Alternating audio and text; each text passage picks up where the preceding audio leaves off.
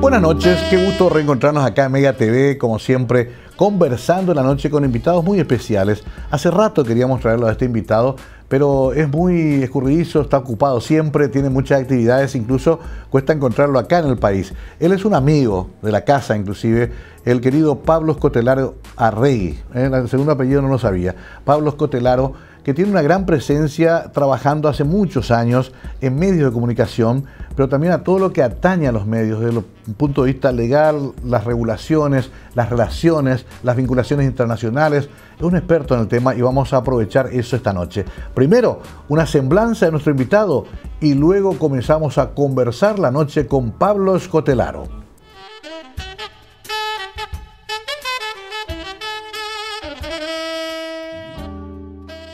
Pablo Escotelaro Arregui egresado como técnico en comunicación de la Universidad del Trabajo del Uruguay, manager y consultor técnico en relaciones públicas, egresado de la Asociación Uruguaya de Relaciones Públicas, AURB, presidente del directorio del canal de TV Paga Unión Continental Latinoamericana, presidente ejecutivo del Centro de Estudios Regulatorios y de Telecomunicaciones CERTAL, presidente de la consultora Insight, presidente de Américas Global Brokers, actual asesor de ISOS Media Group, socio director de Prima, Servicio Integral de Salud, veedor de telecomunicaciones en Ecuador. Trabajó como socio en varias campañas políticas de América Latina, colaborador de varios partidos políticos de Latinoamérica, fundador del informativo OEA News y presidente de la Cumbre de Valores Universales de Madrid y Toledo 2023. Ejerció como secretario del Instituto Nacional de la Juventud del Uruguay, INJU, vicepresidente de la Asociación de Radios del Interior, RAMI, fundador del movimiento Juventudes Radiales, expresidente y expropietario de Grupo U, expresidente y fundador de ISOS Media Group, asesor de la consultora Norman Bailey INC, asesor de la televisión pública en Uruguay, asesor del presidente de la Comisión Nacional de Telecomunicaciones del Paraguay, Carmelo Ruggiero, asesor de los futbolistas asociados del Paraguay FAB, asesor del Ministerio del Interior del Paraguay, asesor del Grupo Clarín de Argentina, asesor senior de Philip Morris International, coordinador de la campaña Independencia del Poder Judicial en toda América Latina junto a la Federación Latinoamericana de Magistrados FLAM. A lo largo de su vida recibió varios reconocimientos como Medalla de Honor de la Asociación de Magistrados de la Argentina, Medalla al Mérito del Congreso de Paraguay Centro Cultural Cabildo, fue nombrado responsable editorial Nel Mondo por el Capítulo Generale Templare. Obtuvo dos premios Emmy, el Balón de la Amistad de los Futbolistas Asociados del Paraguay FAB, además del reconocimiento a su gestión por Conatel Paraguay, entre otros. Escritor de libros y publicaciones periodísticas como Poesía de Soledad de un río en el mar, en 1989. Escribe para la revista Broadcaster Magazine desde 1995 a la fecha. Plan de Políticas del Sector Audiovisual de la Presidencia de Uruguay en 1999 y en la revista RT, Regulación y Telecomunicaciones, desde el 2018 hasta la fecha.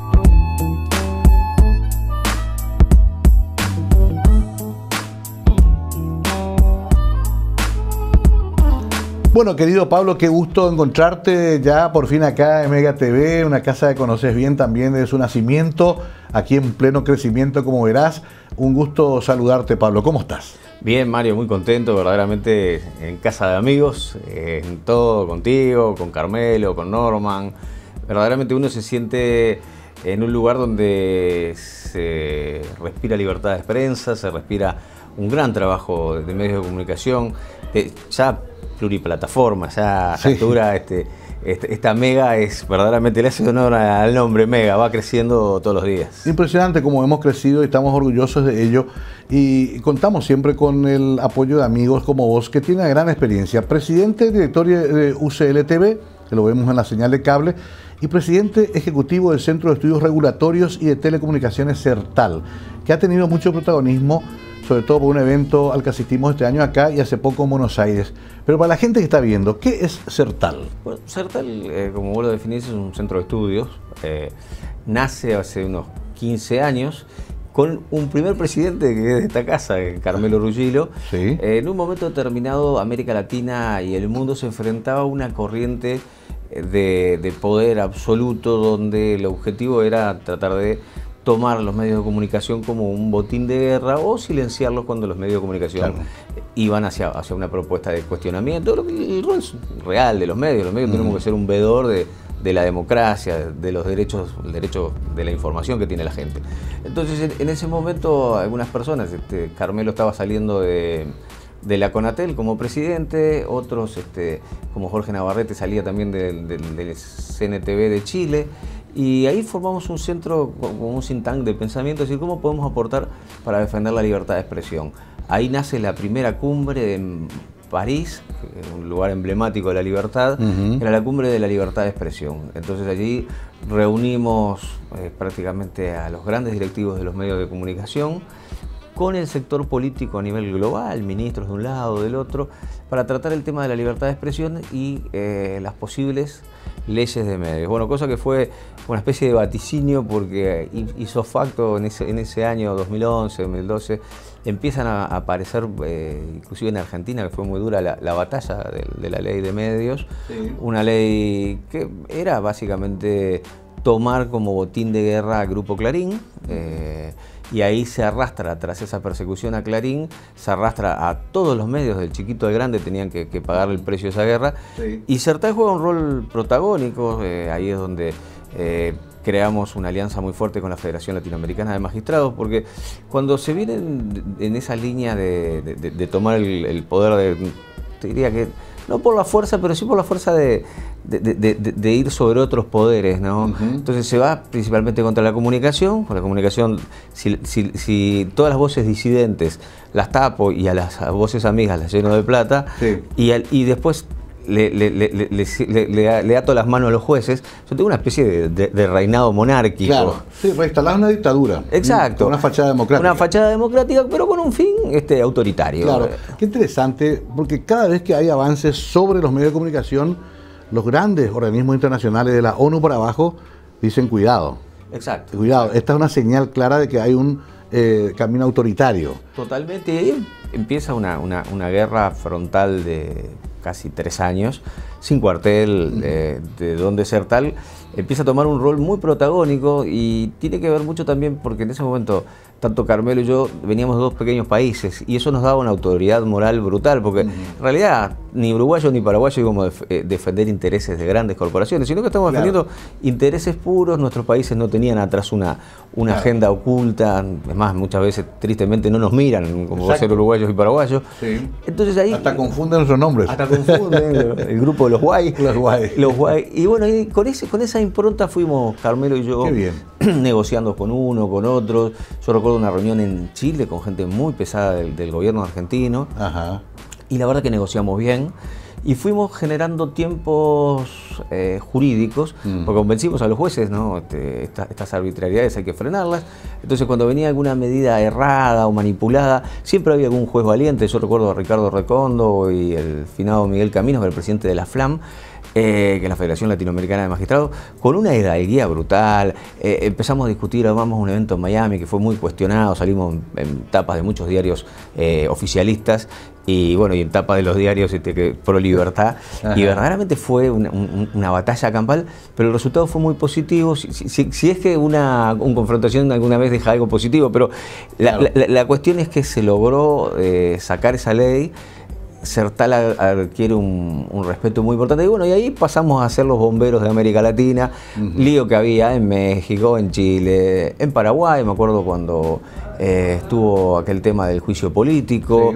Eh, ahí eh, Carmelo nos plantea, vamos a, tratar de decir que acá este, lo que está pasando, buscar la, objetividad, no la absoluta porque es un, hipotético, pero sí tratar de decir que, en Paraguay existe un proceso que se hizo debidamente, que no había ningún golpe de Estado. Recuerdo que en ese momento estaba Certal.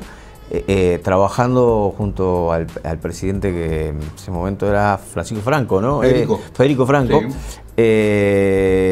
y por otro lado estaba Maduro en los cuarteles. Claro, claro. era una, una cuestión de... Situación difícil situación totalmente difícil y con una posición que es Certal, creo que los grandes este, caminos que tiene, es que es ecuánime. O sea, nosotros tenemos en nuestras filas gente como nuestro amigo Daniel Martínez, que es candidato a la presidencia de, la izquierda uruguaya, y gente como Jaime Mayor Oreja, que es, digamos, está a la derecha de Franco, o sea, un tipo de de ultraderecha. Entonces, toda esa gente participaba, daba su, su, opinión y eso nos fue generando respeto. O sea, la consigna de ser tal es, eh, viendo desde la discrepancia, de que nadie deje de ser lo que es, buscar puntos de unidad. Entonces, sobre la libertad de expresión no hay, no hay dos versiones. Claro. ¿Cuántos países están representados en Certamen? Y alrededor de unos 20 países. Este, eh, Sudamérica, Centroamérica. Europa y Estados Unidos. Ya, bastante, creció, digamos. Creció muchísimo, muchísimo. Qué, interesante esa historia, yo no, la conocía así tan detalladamente. Inclusive hoy ya están incorporados a eh, proyectos y planes de instituciones cooperadoras internacionales, caso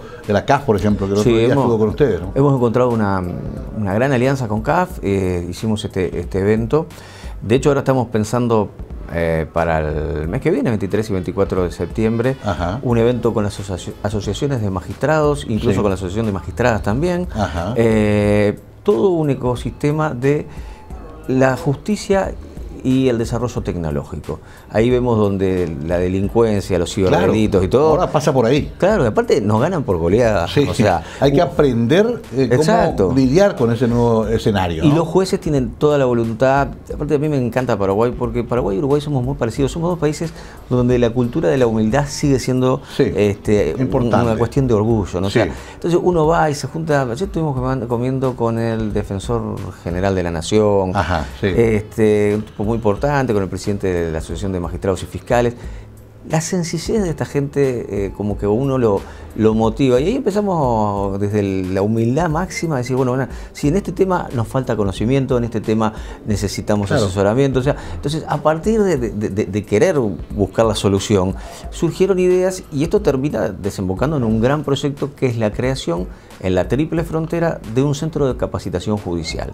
Espectacular. Yo creo que podía ser un hito histórico, revolucionario desde el punto de vista de donde eh, los jueces, fiscales, abogados pueden capacitarse. Hay un día gente de Brasil, Uruguay eh, y, Argentina. exactamente, y bueno, y obviamente con Paraguay. Qué interesante, además una zona estratégica. Tengo que hacer la primera pausa eh, para redondear un poco esto, porque después quiero entrar también en aspectos muy llamativos de tu carrera, hombre de radio, televisión, de la docencia.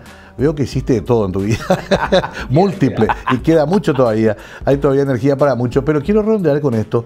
Eh, generalmente los gobiernos parecen no entender que la prensa siempre va a ser el contrapoder, siempre va a ser la contestación. Eh, si es afín, es otra cosa, es un, medio de propaganda. Pero siempre te va a hacer la pregunta incómoda, siempre te va a cuestionar eh, lo que no hiciste.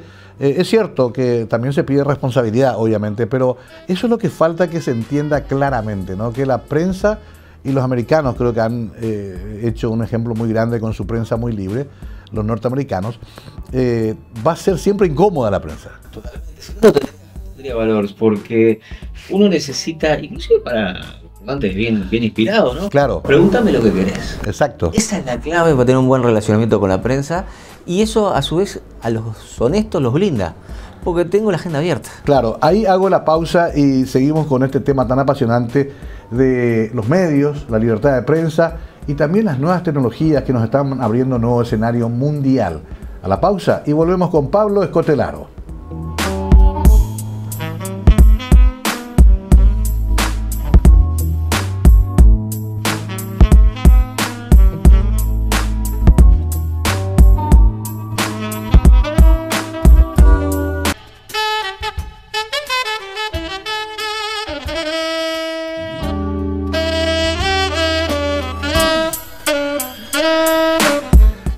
Hablando con Pablo Cotelaro, hoy nuestro invitado especial, nacido en Uruguay. Exacto. ¿En qué lugar?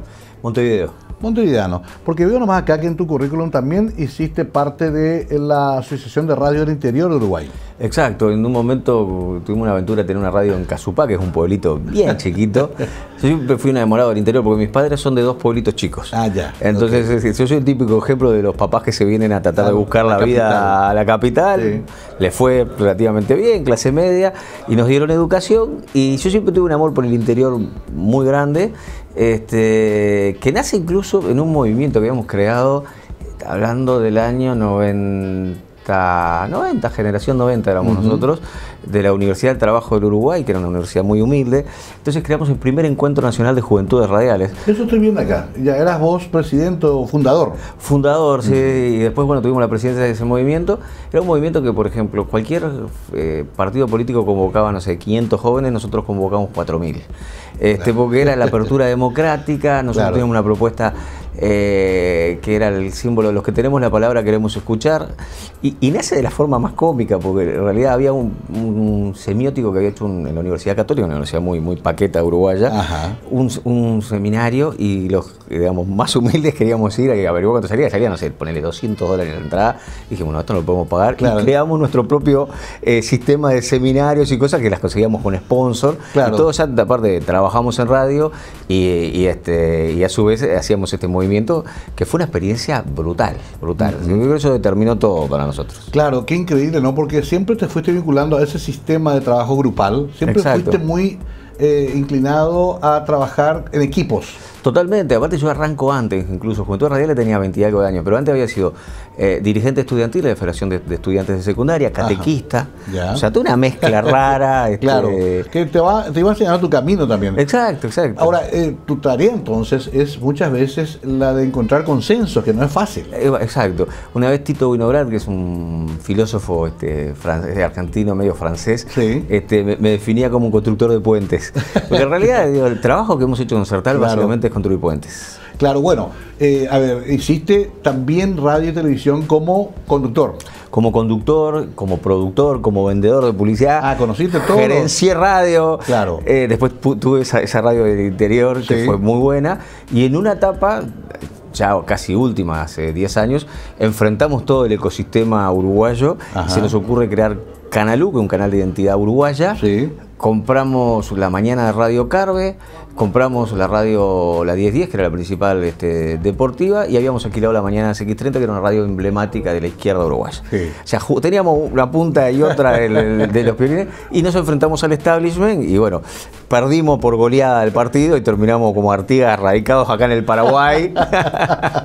Pero bueno, todo forma parte, yo siempre digo, de ciertos destinos que después llegan. por algo hice esto. Acá también te veo eh, vinculado a, una, a un hogar estudiantil, centro de comunicación, proyecto oportunidad, o sea, también muchos proyectos sociales. Totalmente. El proyecto oportunidad fue unas cosas, eso que casi, como diría, ya prescribió hace casi 30 años, pero fue de las cosas más lindas. Estábamos mirando con el de de la Universidad Ort, eh, habíamos ido al estadio, eh, después de haber ido a mi primera NAB, que es una feria esta de televisión, que, uno venía como embobado, con 20 y algo de años, y yo venía con la preocupación de, que muchos de mis compañeros de, la UTU dejaban en la tecnicatura y después no podían seguir la carrera por una cuestión económica. Entonces, eh, ahí le propongo, si hacemos algo, vos tenés, vos tenés pauta publicitaria, yo gasto una fortuna de dinero en pauta. Bueno, yo te consigo la publicidad de los medios a canje de becas. Entonces, a los mejores estudiantes de la UTU este, vamos a darle la beca. Entonces, ah, ahí nace el proyecto Oportunidad con el, hogar, con el hogar estudiantil. Entonces conseguimos después que algunas empresas nos financiaron un caserón y ahí armamos para estudiantes de la comunicación una cosa fantástica. Aparte, terminamos asado todos los fines de semana, venían todos, porque claro, Debe pasar lo mismo acá en Paraguay. El centralismo es tremendo. Claro. O sea, si vos tenés que estudiar, hay una canción que dice, si, tenés que estudiar, te morís en la capital. Y era todo, si te tenés que operar, morís en la capital. claro. Y, la verdad, uno bueno, muere la verdad que Montevideo en ese sentido nos gana por Montevideo casi funciona como un Estado. Exacto, sí, Tiene un funcionamiento de Estado. Función eh, en ese sentido más chico como, como estructura. Bueno, aparte determina incluso eh, la presidencia, ¿no? O sea, Siempre. Eh, Daniel Martínez prácticamente, Tabaré Vázquez gana dos Vázquez, fue el origen intendente de Montevideo. Sí. Martínez estuvo a un punto de ser presidente. Ahora la candidata a vice también. la candidata a vice viene de la intendencia de Montevideo. Parece claro, Montevideo tiene 50, 50-60% de la población de Uruguay. Y ahí se cocina todo. Que yo creo que es un, también hay que descentralizar porque la gente que viene del interior la, sufre, ¿no? Claro, lo que pasa que, que claro, territorialmente también para usted es más fácil llegar a, a Montevideo. hay una cuestión histórica, los, ingleses eh, nos, nos, usan, los ingleses, no, perdón, primero los españoles. Eh, hay un libro que se llama El origen del capital y el protestantismo de Pareto que dice, eh, los españoles vienen y hacen colonización de saqueo. Entonces, todas nuestras rutas van a un puerto tipo embudo.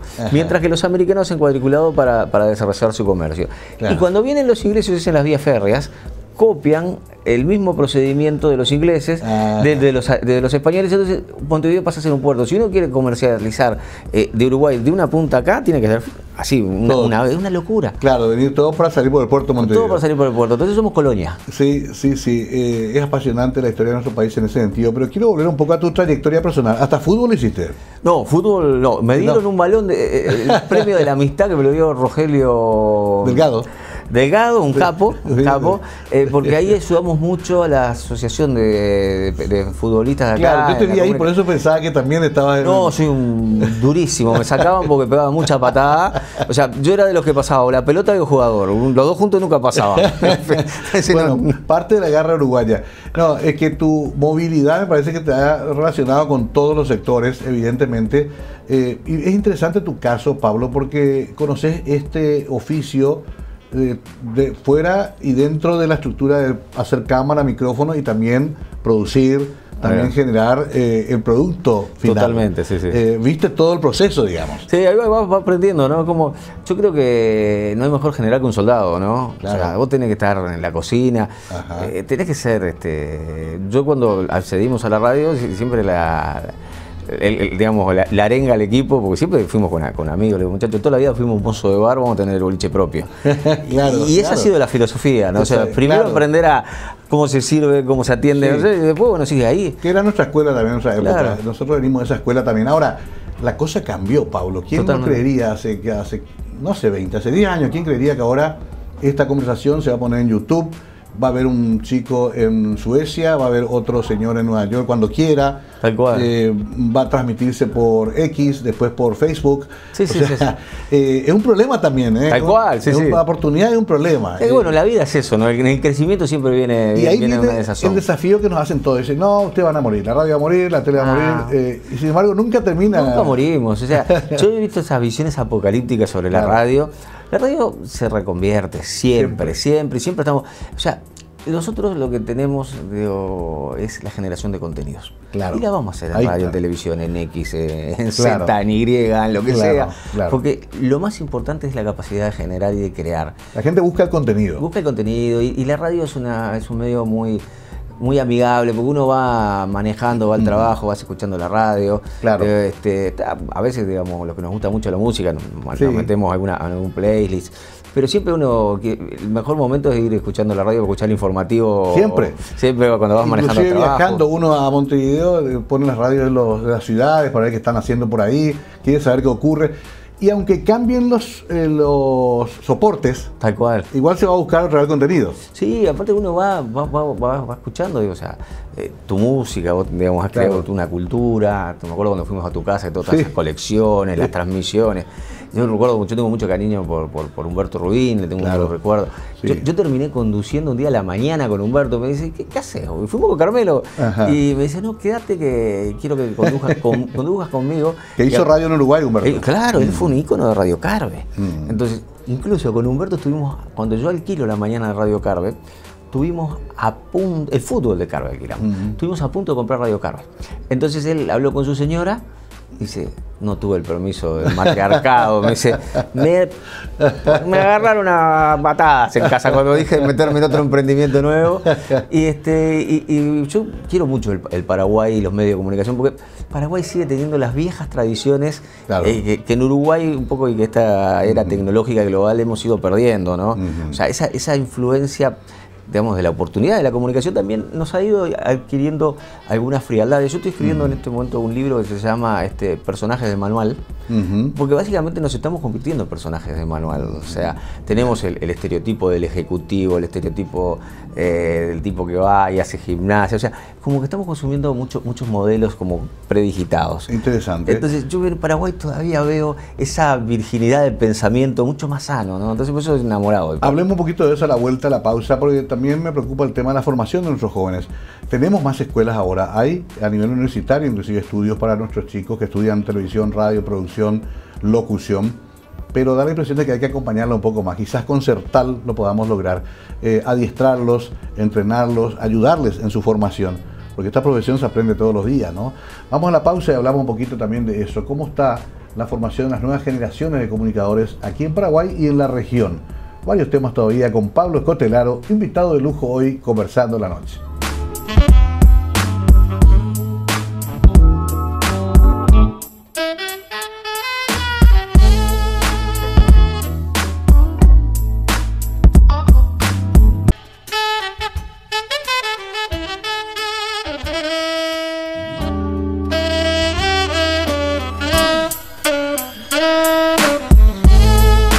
Pablo Escotelaro con nosotros, invitado especial, titular de Certal eh, eh, UCL. ¿Qué es UCL? ¿Cómo creaste eso?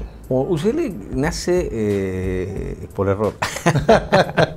me gusta el título, ¿eh? ya te me diste un título ahí. Eh, fue buenísimo porque en un momento determinado nosotros veíamos una hegemonía muy grande de los medios de comunicación en Uruguay, a diferencia de Paraguay. Paraguay es el país de la libertad de medios. ¿Qué quiere pone un medio. Cierto. Este, Argentina lo mismo, los grandes medios desarrollaron la producción, porque nadie puede decir ni que Clarín ni Telefe no desarrolló. O sea, ha sido maestro para todos nosotros muchas cosas.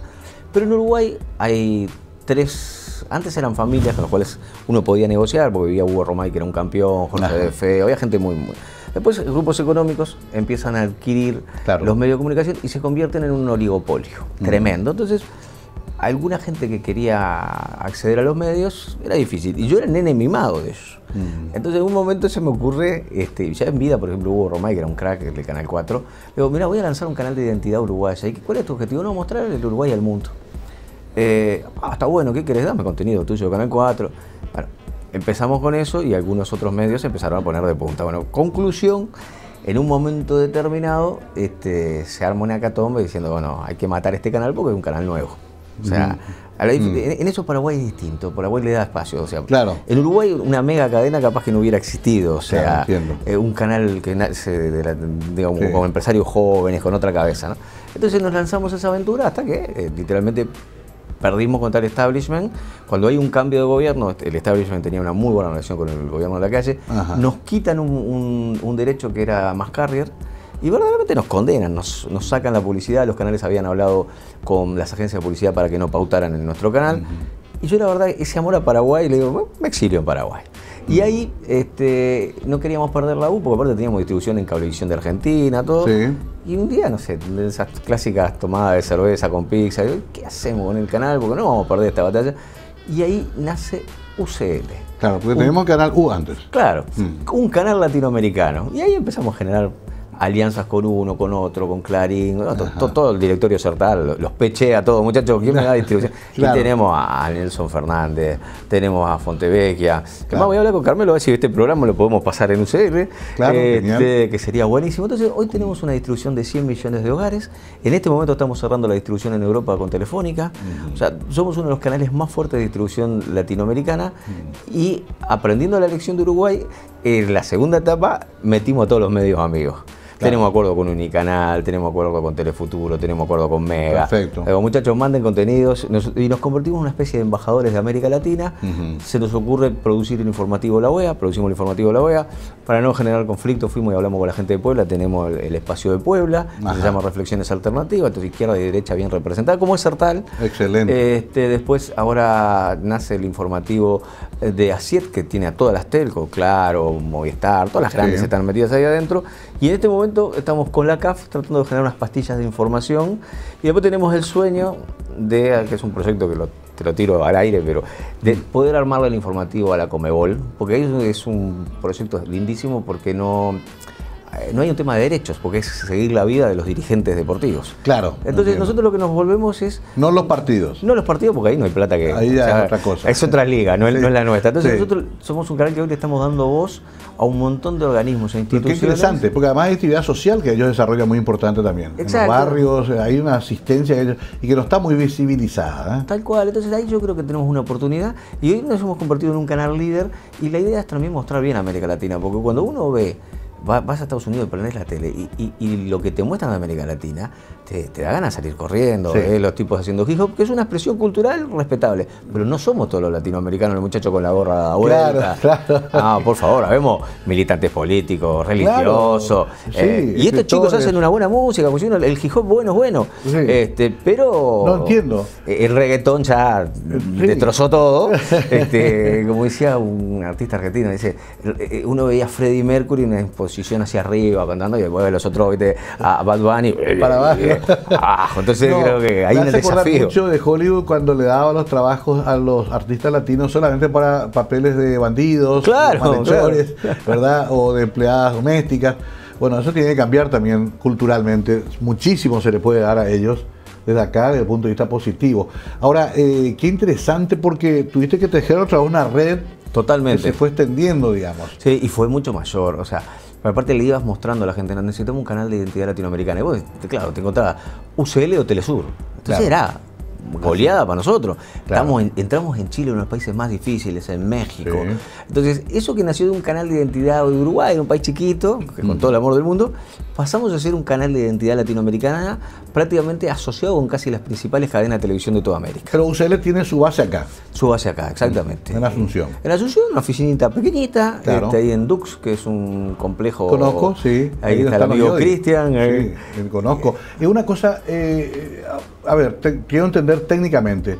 Eso se baja a unos servidores y se transmite. ¿Cómo es el Exacto, nosotros tenemos eh, un hub central acá en Paraguay con una réplica en Telecom Argentina, que ahí nos han dado una mano muy grande la gente del Telecom. Un espejo ahí. Un espejo ahí, de ahí levantamos una parte satelital desde Argentina a través de ARSAT, entonces llegamos por satélite a gran parte de América Latina, eh, América del Sur principalmente. Sí. Después, eh, por señal de Internet, de CRT y todas las nuevas tecnologías, estamos llegando a casi todos los otros operadores en el mundo, estamos en Canadá, este este, y claro, la, tecnología ha democratizado muchísimo el desarrollo del proyecto. Cambió, claro. No estoy pensando que antes para lograr eso solamente tenía la BBC de Londres, la Deutsche Welle. nosotros este, hicimos una vez una comparación, este, siempre la vida uno trata a veces de buscar inversores. Yo una reunión con los inversores y una de las conversaciones con los inversores dice, pero ¿cómo lograron esto? Este, y empezamos a hacer números, ¿no? Entonces nosotros en cinco años, ponerle, hubiéramos gastado, no sé, dos millones de dólares pero era de la producción, gastaba. Y, nos decían que CNN, para lograr casi la misma distribución que nosotros, este, había gastado 300, 400 millones de dólares. Sí. Este, y, nosotros no es que gastamos, estamos sumando los presupuestos. Digo, ¿Cuánto facturaste en el año? ¿Un millón o 500 mil dólares al año? O sea, pues son, en el fondo son pymes lo que tenemos nosotros, si vos lo comparás con CNN, con Claro, sí, sí. Pero logramos, por, por una especie de inteligencia de alianzas, tener una distribución que no la tiene nadie.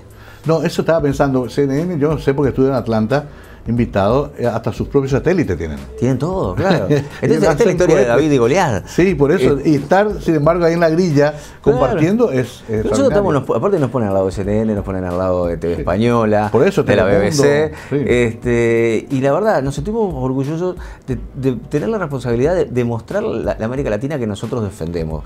A mí, si me preguntan ideológicamente que soy, yo me defino como latinoamericanista. ¿no? Y en algún momento garibaldino. Pero este, defiendo mucho la, cuestión republicana de Latinoamérica. Claro. Como Estado, como gran nación. ¿Y quién controla el contenido de UCL? Eh, bueno, Felipe Ugarte Mendía, que, es este, que, está aquí, nos está acompañando del otro lado de la cámara, que es el director. Tuvo un equipo de gente tiene muy joven. Que mirar un poco todo lo que está. Exacto. Digo, porque tiene que haber un control. Sí, ahí eh, tenemos como CEO a Ever Martínez, que fue casi 15 años presidente de Relaciones Institucionales de Telefe. Ok. Eh, si lo definimos de alguna manera, la barra de Sertal. Sí. O sea, somos los mismos mm. que, eh, yo digo, Sertal es como la democracia ateniense, que llega a unos pocos, porque es una cuestión de, digamos, de, no de élite, pero sí de un nicho, ¿no? Claro. Mientras que UCL es como una democracia participativa. O sea, es la misma filosofía, muchas veces son los mismos actores, porque Telefónica, Claro, Milicon, todos son los que distribuyen nuestra señal,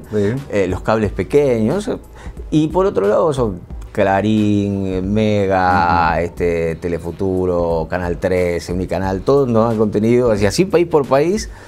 Y después las producciones propias, ¿no? El informativo la OEA, que es producción propia, el informativo A7, que es producción propia, el eh, UCL News, que es un, como una recopilación de las cosas de Latinoamérica, eh, nuestro propio informativo. porque Falta agregar contenido de Mega.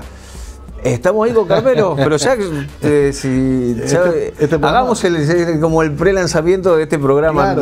ya, pasamos por la oficina Carmelo y se lo pedimos. Me encantaría que mis amigos en Europa vean esto.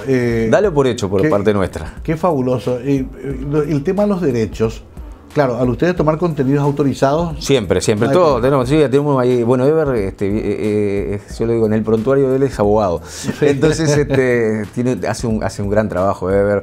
Después tenemos a Mario Bosolasco, que fue director de marketing de Antel, que es un gran comunicador, eh, asesor de varios ministros y todo. Entonces, también. Nosotros lo que nos juntamos es una, una barra de idealistas. Así es, con esto no vamos a hacer un peso, sabemos, pero nos vamos a sacar las ganas de hacer algo que nos divierta y poder decir, América Latina es esto. Claro. O sea, salir del Telesur o, del, estos canales, digamos, que te muestran en América Latina, yo, yo lo quiero mucho mis amigos de Televisa o canal pero lo que se muestra en Estados Unidos sobre nosotros es para salir corriendo. Claro, sí, y solamente la parte mala además. Sí, bueno, además somos todos los que llenamos las cárceles, los que nos recontradrogamos, los que no sabemos traficantes. los traficantes, los mm. ordinarios y no ven todo este mundo. Yo, por ejemplo, reivindico mucho Paraguay, la cultura guaraní.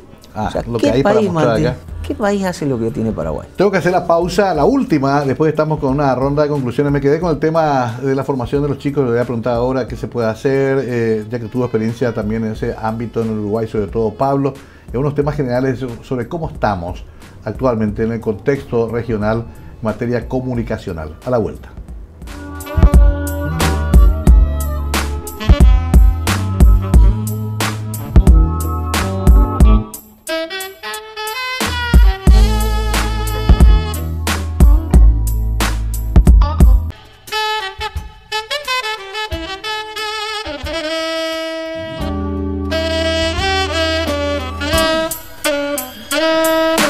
Última parte de esta interesante charla con Pablo Escotelaro, que es el presidente ejecutivo de CERTAL y también director de UCL, eh, pero sobre todo un hombre de medios, ¿eh?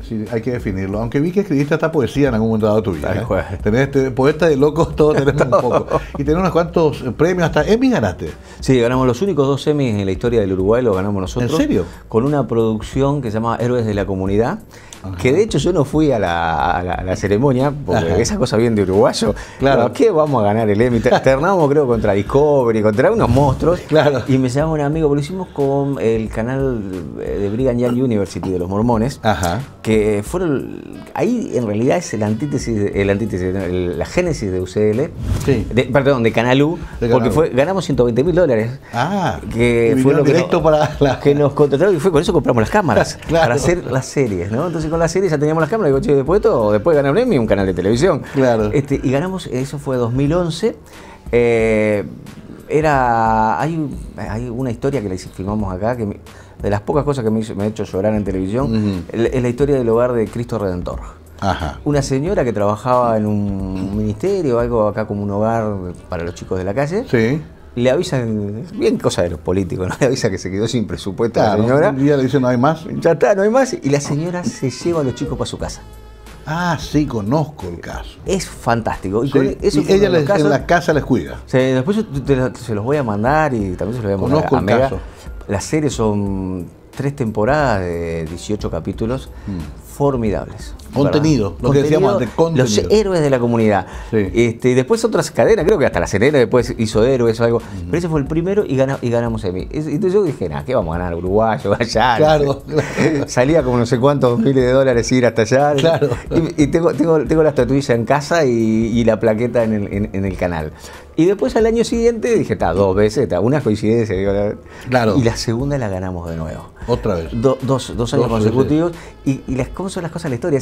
Ese Emmy lo hicimos como coproductor, el que eh, uno de los dueños de Canal 4, mm. que era el hijo de Hugo Romay, que es el hijo de, Uruguay, de Hugo Romay, que falleció un gran, un grande de la televisión uruguaya. Y Oscar Esteves, un cineasta que fue el guionista de Silent House, La Casa Muda, el, este, el, éxito que tuvo de una película de terror, que es del mismo equipo que el 15 se estrena, que ya tengo mis entradas para ver Aliens, que Federico Álvarez, un uruguayo loco, más loco que yo, jugando un día con los amigos empiezan a hacer un videoclip de que se destruye Montevideo y lo llamo a un tipo y dice, ¿cuánto gastaron esto? Nada, unas pizzas, unas cervezas y un poco de creatividad. Claro. Dice, y si te damos 30 millones de dólares, ¿qué haces?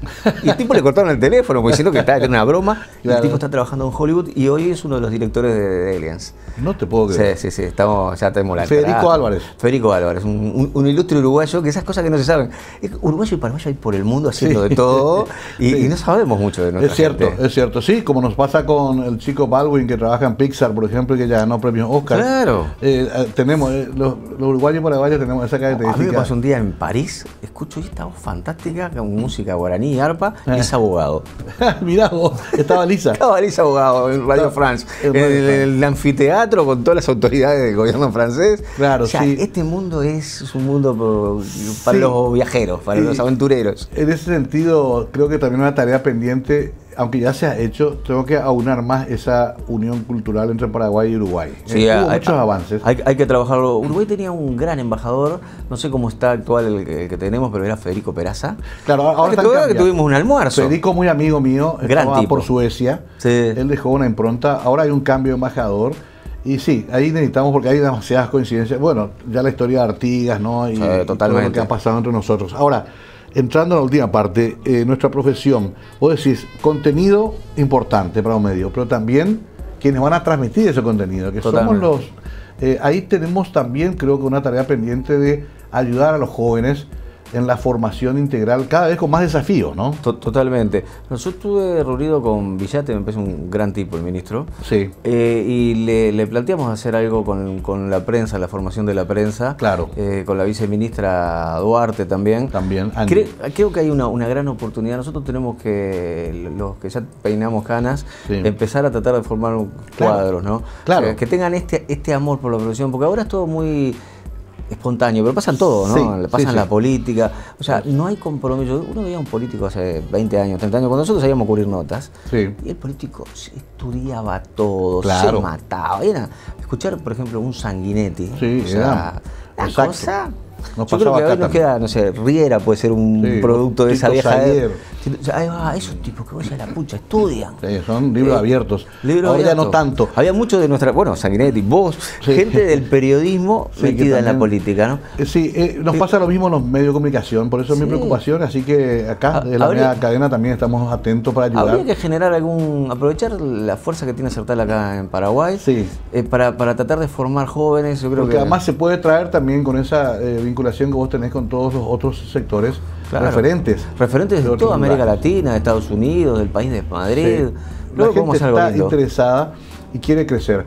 Hay universidades, por suerte. En nuestra época era casi eh, empírica. Eh, Totalmente. Nos hacíamos, ¿Te acordás? hacíamos algún curso, salíamos abajo del brazo y, era la calle. Te la calle, exacto. Yo me acuerdo que yo cubría para el diario de la noche. Y teníamos un director, Amela, también fallecido. Ahí nos marca la, edad que ya estamos veteranos, ¿no?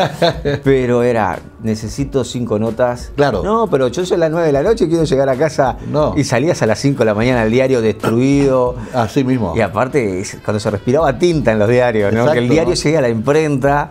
No, no, es, brutal. Esa escuela fue fabulosa, pero ahora está reemplazada por una escuela mucho más organizada. Sí, eh, con unas herramientas Salen como licenciados, eh, son, yo eso admiro mucho y destaco de la nueva generación. Pero hay que ayudarles. Hay que darle un poco más de romanticismo, ¿no? Exacto. Yo tengo la suerte, por ejemplo, mi hija dirige el informativo La OEA. Ajá. Este, y tiene esa escuela, se formó en la Universidad Católica, brillante, ¿no? O sea, formación me gana 20 a 0, ¿no? Claro, sí. Este, y yo trato de meterle eso, me feo, investigar, transpirar, sufrir, llorar. este, que el periodismo tiene amor. Sí. El periodismo, si no, no, hay, no hay amor, no, Exacto. O sea, ahora te usan el chat GPT, que es fantástico. Fabuloso. Pero es para que te tire datos. Chat GPT, dame esto, esto, esto, esto. Pero después cuando uno tiene que bajar a la pluma, yo sigo escribiendo, y hay algo del alma, sí, se mística, y el periodismo es una de las pocas profesiones que mantienen cuestiones del alma.